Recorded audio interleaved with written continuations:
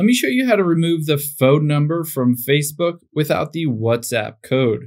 You don't need the WhatsApp code as long as you add a different phone number and remove the old one. I'll show you how to do it. Now, first, let's open up the Facebook app on your iPhone, Android, or computer, and we need to get to your settings.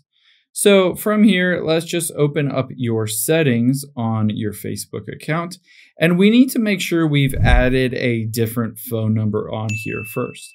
So once we're in here, we can always just go in and see the old phone number that is linked through WhatsApp.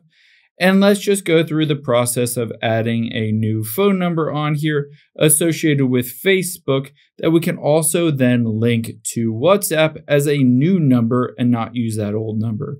So all you need to do is enter in a phone number on here, just enter it in and get that new code texted to it and essentially add that number. Now, after we've done that, you're going to hop out of here and we're going to open up the WhatsApp app instead, and we're going to make sure it's not linked on here. So we get need to get to your settings, and within the settings, you'll be able to see the accounts center. Now, within the account center, you might have already added the account on here, or you might not have. If you haven't already, you can always choose to add that, and you can see it automatically pulls in that number.